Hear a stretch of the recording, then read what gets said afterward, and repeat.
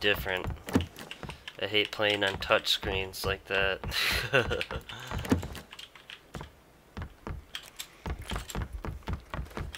You never know when you hold it close to your face so you can see around the corners. Whoa! I just freaking was just running up the stairs and I ran into a guy and just. Whew! You die?